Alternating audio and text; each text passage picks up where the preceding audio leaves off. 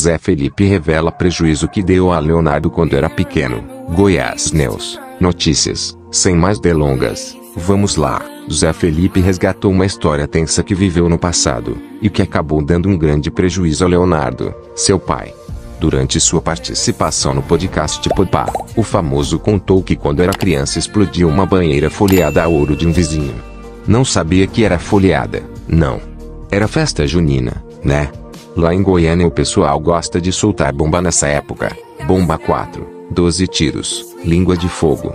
Um vizinho me deu um saco de bomba, iniciou. Estávamos eu e ele, e perguntei: Vamos estourar essas bombas aonde?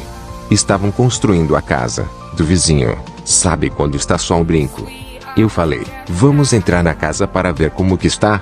Recordou o cantor, que continuou com sua história. Tentei entrar e as portas estavam todas fechadas. Tinha aquela janelinha do banheiro.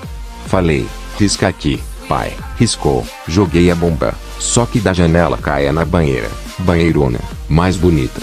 Acabou com tudo. 35 mil reais tive que pagar. Eu tinha 11 para 12 anos. Zé ainda contou que foi identificado pelas câmeras do imóvel, e que o prejuízo foi dividido por Leonardo e o pai do amigo que o acompanhou no momento. Ele, o vizinho, chegou educado, e com a conta e com as fotos da câmera, relembrou o artista, que revelou que não foi repreendido pelo pai. Eu era custoso, confessou. Recentemente Zé Felipe e Virgínia Fonseca, sua esposa, chamaram atenção nas redes sociais ao falarem sobre a vida sexual dos dois depois do nascimento de Maria Alice, filha do casal. Se eles querem saber, a gente ainda mete muito. E normal, igual era antes, disparou o cantor, em um vídeo no YouTube da loira. A diferença é que a Maria vem para cá, quarto, de vez em quando, então a gente vai lá no quarto ela. Ela dorme muito, é recém-nascida.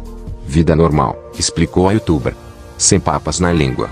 O filho de Leonardo ainda soltou o verbo recentemente ao ver as críticas por ter furado as orelhas da primogênita para colocar um. Inscreva-se no canal para receber nossos vídeos. Deixe seu like, compartilhe com amigos, ative as notificações. Até a próxima.